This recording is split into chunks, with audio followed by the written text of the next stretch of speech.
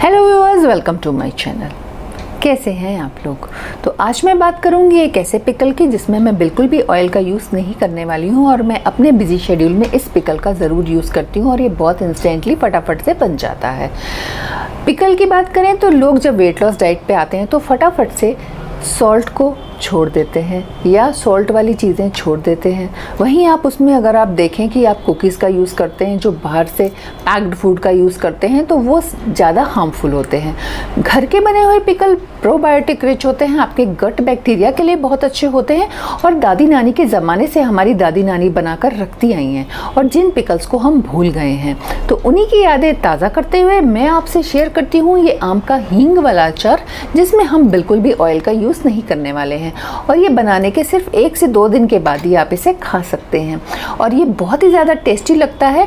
खाने के टेस्ट को तो बढ़ाता ही है, साथ में ही आपके डाइजेशन को भी बहुत ईजी करता है और जिन लोगों को आईबीएस प्रॉब्लम होती है इरिटेबल बॉल सिंड्रोम उनके लिए बहुत अच्छा है। और समर्स में ये हल्के हल्के पिकल्स अगर हम यूज़ करते हैं तो हमारी हेल्थ को बिल्कुल हार्म नहीं होता है।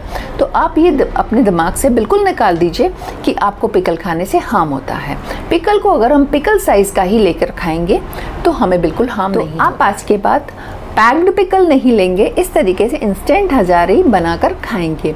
तो मैं आपको लेकर चलती हूँ किचन में और बनाते हैं ये हींग का, आम का अचार। तो इस पिकल को हम वेट लॉस जर्नी में यूज़ करने वाले हैं और ये है हींग वाला आम का अचार, जिसके लिए मैंने रॉ मैंगोज लिए हैं और ये इनको मैंने अच्छे से धो के पूछ लिया है। अब हम इसको कर लेते हैं फटाफट से पील और पील करने के बाद हम इसको कट करेंगे। हींग वाला अचार आपके डाइजेस्टिव सिस्टम को बूस्ट करता है, घर का बना हुआ है खाने का टेस्ट इन्हेंस करता है और इस पिकल को हम वेट लॉस जर्नी में मज़े लेके खा सकते हैं और हमें खाना ब्लैंड भी नहीं लगता है।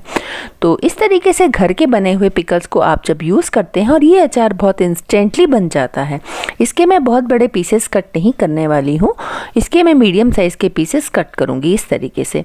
और ये देखिए हमने पीसेस कट कर लिए हैं और अब हम इसमें डालेंगे स्पाइसेस और स्पाइसेस में सबसे पहले डालूँगी मैं हींग, जो कि इसका मेन इंग्रेडिएंट है, जो कि आपके डाइजेस्टिव सिस्टम को बूस्ट करेगी और इस अचार को खाने से आपको एसिडिटी नहीं होगी।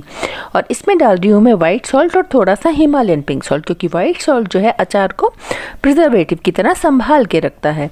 अब हम इसमें डालेंगे टर्मरिक पाउडर और थोड़ा सा रेड चिली पाउडर तो इस तरीके से इतने ही स्पाइसेस में ये अचार बन जाता है और इसको करेंगे हम अच्छे से मिक्स अच्छे से टॉस और इसको रख देंगे हम दो दिन के लिए जहाँ हल्की धूप आती हो, इस तरीके से कवर करके और या फिर आप अपने जिस एरिया में थोड़ी सी रोशनी हो वहाँ पे भी रख सकते हैं।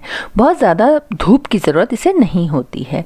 तो ये देखिए दो दिन हो चुके हैं और आपको दिख रहा होगा इसकी सूरत बदल चुकी है और इसमें देखिए कितने अच्छे से पानी निकल गया है और ये बहुत ही टेस्टी बना है और ये बिल्कुल सॉफ्ट भी हो चुका है और इसको हम बनाने के दो दिन के बाद ही खा सकते हैं और ये बहुत ही टेस्टी बहुत ही डिलीशियस है आप ज़रूर तो आपने देखा कि आम का ये हींग वाला अचार कितना टेस्टी दिख रहा है और ये बस दो ही दिन में बन जाता है। उसके बाद आप इसे आराम से रखें फ्रिज में और घर के बने हुए पिकल प्रोबायोटिक रिच तो होते ही हैं। साथ में आपको पता नहीं होगा कि ये बी ट्वेल्व को भी एब्जॉर्व करने में हेल्प करते हैं।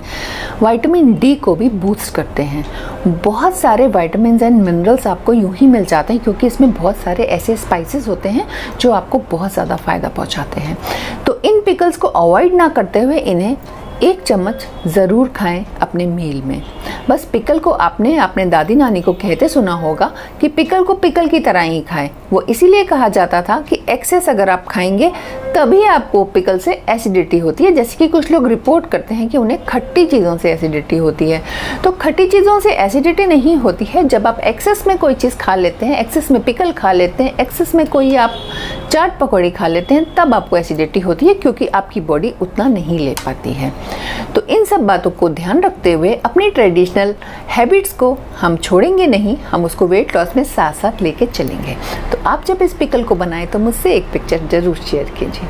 चैनल पे नए हैं तो सब्सक्राइब कर लीजिए बेल आइकन प्रेस कर लीजिए, जिससे आपको सारे हेल्दी अपडेट्स मिलते रहें। बेल आइकन प्रेस करना बिल्कुल मत भूलिएगा। मुझसे पेड कंसल्टेंसी लेने के लिए डाइट प्लान लेने के लिए डिस्क्रिप्शन सेक्शन में पूरी डिटेल है। तो आप मुझसे कॉन्टेक्ट कर सकते हैं। Thank you so much